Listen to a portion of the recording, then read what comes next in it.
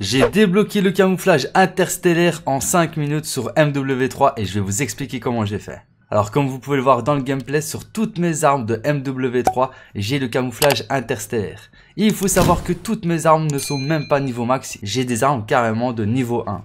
Donc j'ai débloqué le meilleur camouflage en multi sans même avoir tryhardé les défis. Alors le problème de cette astuce, c'est que le camouflage n'est pas réellement débloqué. Je l'ai équipé sur mes armes en tant que variante sauvegardée. Ça veut dire que si maintenant je supprime cette variante sauvegardée, eh ben je n'aurai plus accès au camouflage de l'arme sélectionnée en question.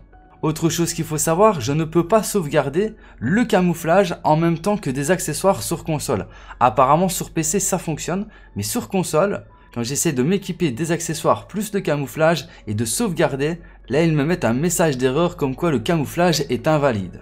Ensuite ça m'enlève le camouflage et si j'insiste en faisant L2 pour resauvegarder sous le même nom, et eh ben là je vais carrément perdre la variante de l'arme avec le camouflage interstellaire. Donc c'est quelque chose qu'il faut surtout pas faire. Donc pour contrer cet inconvénient, ce que je fais c'est que je me crée des classes. À chaque classe, je sélectionne l'arme que je veux jouer, je lui ajoute des accessoires et je sauvegarde l'attirail en question. Ensuite, si je veux une variante de cette arme pour par exemple jouer à Warzone, et eh ben là c'est pareil, je crée une deuxième classe, donc un deuxième attirail. Ensuite, je sélectionne l'arme avec le camouflage, je lui ajoute euh, les accessoires et je sauvegarde l'attirail.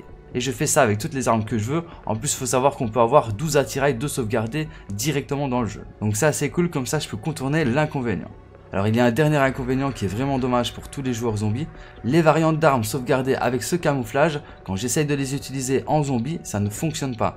Je me les équipe dans mon stuff et quand j'essaye de lancer une partie, elles disparaissent. Après, si vous trouvez une solution, n'hésitez pas à le dire en commentaire. Mais moi, personnellement, j'ai jamais réussi à lancer une partie en mode zombie avec mon camouflage interstellaire. Enfin bref, je pense que je vous ai expliqué tous les avantages et les inconvénients de cette astuce. Maintenant, comment j'ai réussi à débloquer le camouflage interstellaire sur toutes les armes de MW3 en plus ou moins 5 minutes, bah c'est tout simplement en rejoignant le Discord que je vais mettre en description et en commentaire épinglé. Donc n'hésitez pas à le rejoindre pour avoir plus d'informations. Autre chose qu'il faut savoir, sur console, ça ne sera pas disponible avant demain 19h. Donc le 6 décembre à 19h quand Warzone 3 sera disponible.